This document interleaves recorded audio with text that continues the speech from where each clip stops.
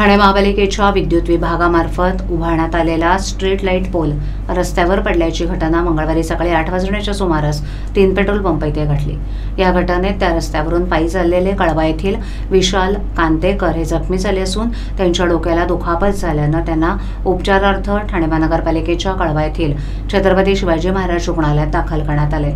तर अनोळखी बसच्या वरती असलेल्या लगेच सामानाला स्ट्रीट पोलवर बांधलेली केबल अडकल्यामुळे तो पडला असावा असा अंदाज वर्तवण्यात आलाय. या घटनेची माहिती मिळताच घटनास्थळी पालिकेचे विद्युत विभागाचे कर्मचारी नौपाडा पोलीस आणि आपत्ती व्यवस्थापन विभागाच्या कर्मचाऱ्यांनी धाव घेतली.